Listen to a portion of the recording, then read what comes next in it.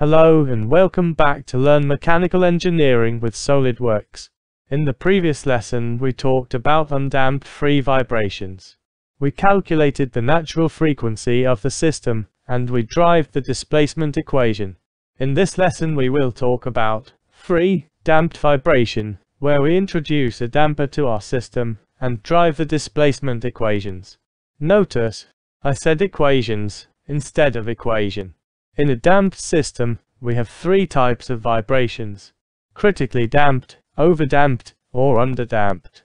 To drive the displacement equation, we follow the same steps as we did for free undamped vibrations. So, let us start by drawing the free body diagram. We have five forces acting on the mass. The weight of the mass, the normal reaction force, friction force, spring force, and the damping force. The mass weight and normal force cancel each other out, and the friction force is neglected. So we are left with the spring force, Kx, and the damper force, Cx dot. C is the damper constant, and x dot is the velocity at which the damper displaced inside the viscous liquid. We know that sigma fx is equals to max. So, minus kx minus cx dot is equals to mx double dot. We arrange the equation to be mx double dot plus cx dot plus kx is equals to 0. To put it in the standard form we divide by m.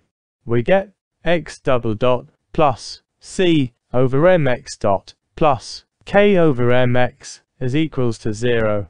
This is a second order homogeneous differential equation. It has a solution a times e to the power of RT multiplied by R square plus C over MR plus K over M equals to 0. 8 times Z to the power of RT can't be equal to 0, so the part inside the bracket must be equal to 0. There are two roots, R1 and R2. Their values is given by these equations. Depending on the values of these roots, we have three solutions. First, critically damped vibrations. The roots in the equation are equal, and we get R1 equals R2. This type of vibrations occurs when the damping constant equals the critical damping coefficient. In other words, the damping ratio is equal to 1.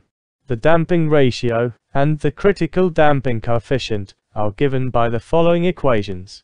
The solution to this type of vibration is given by the following equation where the value of A equals the initial displacement, and the value of B equals the initial velocity, plus omega n times the initial displacement. For the case of overdamped system, the roots R1 and R2 are real numbers, and the damping ratio is greater than 1. The solution is given as where A equals minus the initial velocity minus R2 times the initial displacement and all divided by r2 minus r1. And b equals the initial velocity plus r1 times the initial displacement, all divided by r2 minus r1. Finally, for the underdamped system, the roots r1 and r2 are complex numbers, and the damping ratio is less than 1. The solution is given as omega d is the damping frequency, and given by the equation below. And A equals the initial velocity plus omega n times damping ratio times the initial displacement all divided by the damping frequency. And B is simply equals to the initial displacement. The displacement equation can be simplified to the following equation. The values of d and phi can be calculated from the boundary conditions. Let us solve an example for each of these three systems. We have a system has a mass of 25 kilograms and stiffness of 4900 newton per meter. Then, we have three damping constants, each represents specific type of vibration.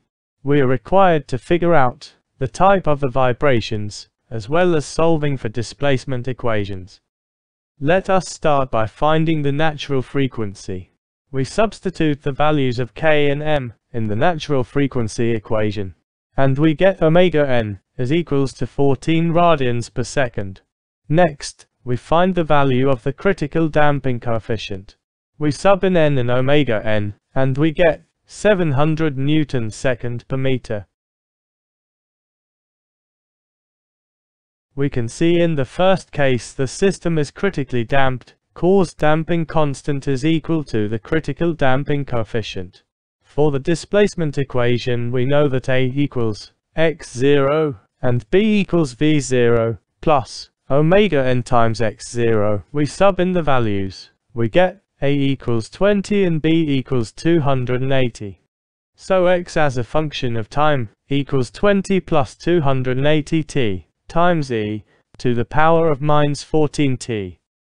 For the second case, the damping constant is greater than the critical damping coefficient. So, the system is overdamped. The displacement equation is given by the following equation. We find the two values of the roots using this equation. After substituting, we find R1 equals minus 5.347 and R2 equals Mine's 36.652. Next, we solve for a and b. They are given by the following equations. We sub in the values, and we get a equals 2, 23.416, and b equals 3.416. So, the displacement equation is x as a function of time is equals to 23.416 e to the power of minus 5.347t plus 3.416 e to the power of minus 36.652t. Finally, the third case. We can see that the damping constant is less than the critical damping coefficient, so the system is underdamped. Let us calculate the damping ratio. The damping ratio is 0.428. Now we use this equation to find the damping frequency. We get omega d is equals to 12.649. Now we solve for displacement. Substituting the values in this equation, we get A equals 9.486, and B is simply equals the displacement, which is 20 millimeters. Then, x as a function of time equals 2 e to the power of minus 6t times 9.486 sine 12.649t plus 20 cosine 12.649t. Now, to do the simulation, we open the previous assembly we did for undamped vibrations.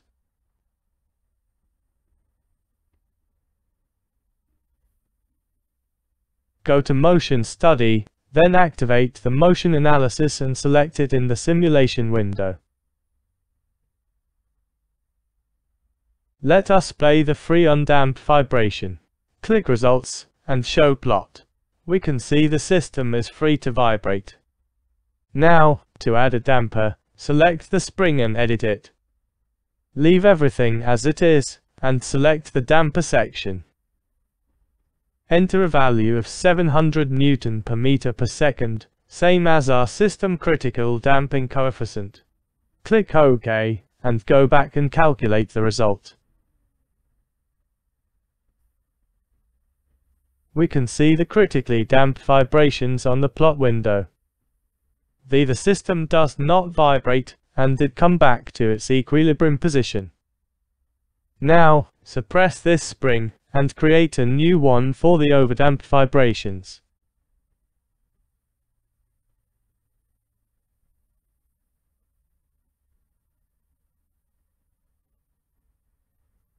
Select the mass face as well as the wall face. Enter a damping constant, 4900 N. M, and let the free length be 400 millimeters. Then, select the damper and enter 1050.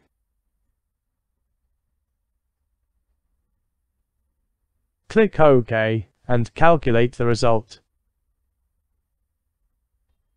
After, click the plot icon, and select this mass face, then select Displacement linear displacement, and the x component.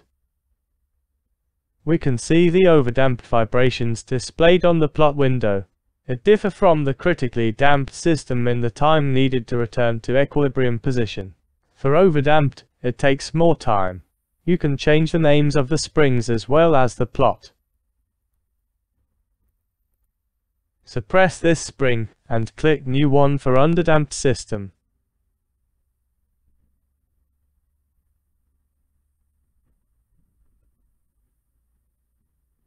Select the same faces again, and enter the same stiffness value, as well as same free length value. After, select the damper, and enter 299.6. Click OK, and go back and click the plot icon, and select this mass face, then select Displacement, Linear Displacement, and X component.